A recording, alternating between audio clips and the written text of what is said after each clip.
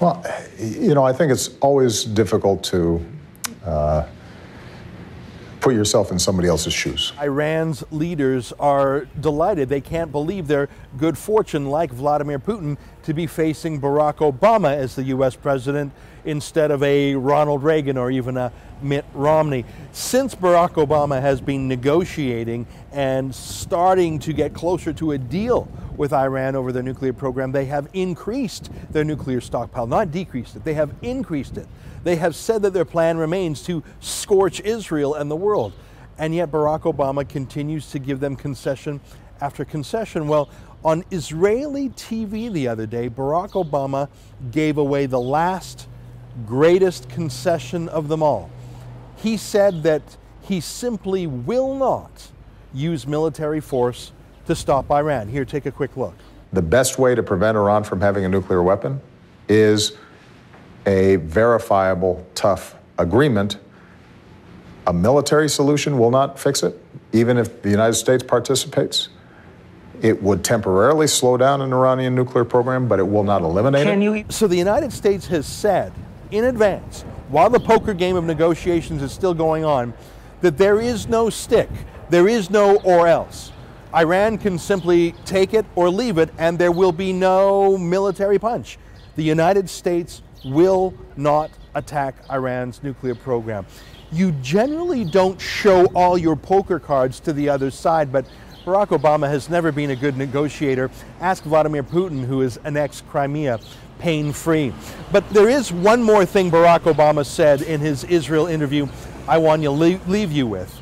He says just how much he deeply cares about Israel's hopes and fears. Here, take a listen. Can you even imagine a scenario where Prime Minister Netanyahu, after this deal, which he says it's a bad deal, that's why he came to Congress, launches a military strike and doesn't even call you ahead of time? I, I, I, won't speculate on that. Uh, what, what I can say is to the Israeli people, I understand your concerns and I understand your fears. Do you think Barack Obama understands Israeli fears?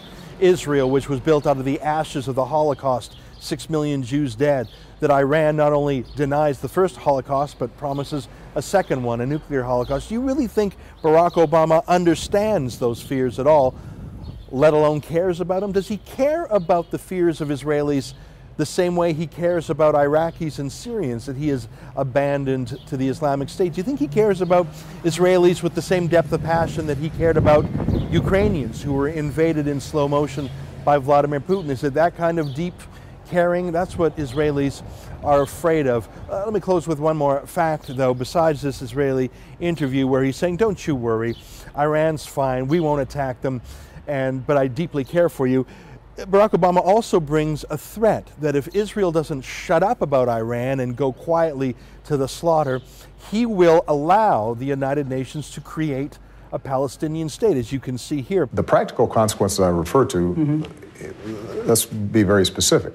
Um, if there are additional resolutions introduced in the United Nations, up until this point, we have pushed away against European efforts, for example, or other efforts, uh, because we've said the only way this gets resolved is if the two parties work together. But you're not sure you're going to continue doing that? Well, here's, here's the challenge. He's threatening Israel to abandon it to the wolves of the United Nations.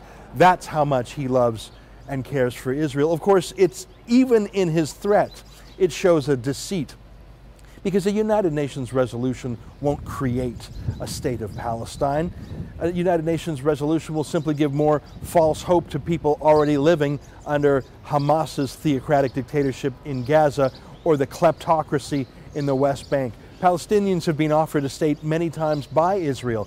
Their own leadership is the barrier. Simply having a resolution in New York won't do anything other than create more global anti Semitism. And you know what?